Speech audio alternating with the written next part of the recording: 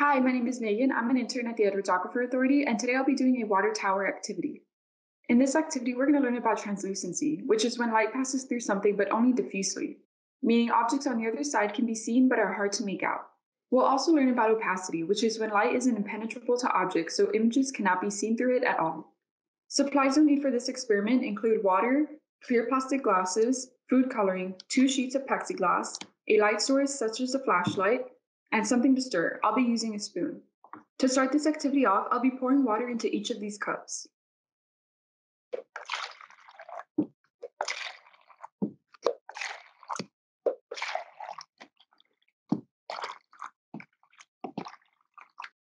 Next, I'll be pouring food coloring into each of the glasses. I'll only pour a little bit of color into these two, but a lot of color into these two, and we'll see what happens.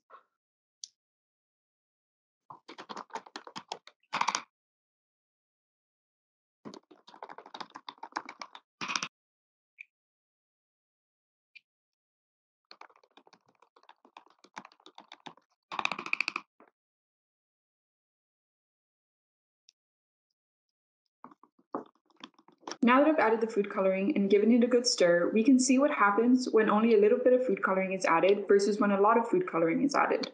When only a little bit of color is added, you can still see through the water to the other side. For example, you can still see the spoon through the water. It's hard to make out. This means it's translucent. When a lot of color is added, it's too dark and concentrated to see on the other side. Notice how you can't see the spoon when I put it behind this glass. The saturation is high and the color is opaque. You can also experiment on what kind of colors come from mixing colors. For example, if I drop some red into the yellow, let's see what happens.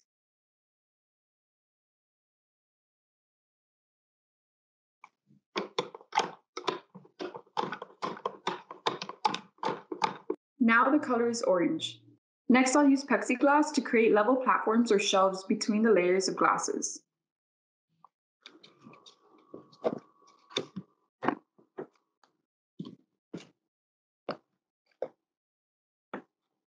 Now that the tower has been built, we're going to move the light source behind different sections of the tower. How do the colors change when the colored waters are illuminated? Notice which colors are more translucent, the lighter colors, such as the green. Notice how light easily passes through the green because it's a lighter color and translucent. Same for the orange.